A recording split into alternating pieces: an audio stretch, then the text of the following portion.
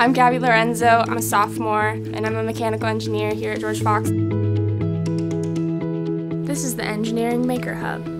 We have a lot of different features here like the machine shop which has all of our machinery for which we will make our different projects, three different mills, it has two lathes, a wood shop, drill press, a couple band saws. We also have a tool room that is connected to the machine shop for all the different tools or things that you might need for any project that you have. We also have a prototype lab which has multiple 3D printers, also have a craft table which is pretty exciting. And then we have these cool little study spaces that we're currently in, which is called the Makerspace. The place I take most advantage of is the Makerspace.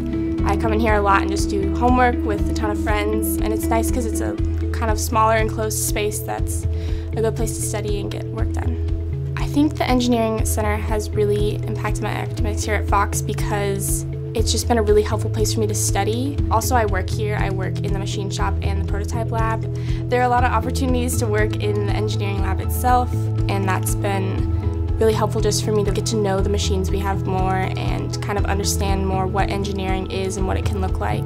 It's hands-on, it's actually doing things versus just learning about it in theory. Your first semester right out of the gate, they have you build a little wobbler engine first day was told I was supposed to create this engine by the end of my semester and I was like, I can't do that. I knew absolutely nothing about engineering, but through the different things like all the support that my professor provided, the wonderful friendships in the engineering department, and all the equipment and resources that the engineering center provided me, like it was completely possible and super fun to do actually. I wanted to come here, do my four years, and just come out with a degree that I knew was from a good university. Because you can go to someplace and you can get your degree, but your professors aren't going to be invested in you. They're not going to know you, and you're not going to have the hands on experience that you're going to get here.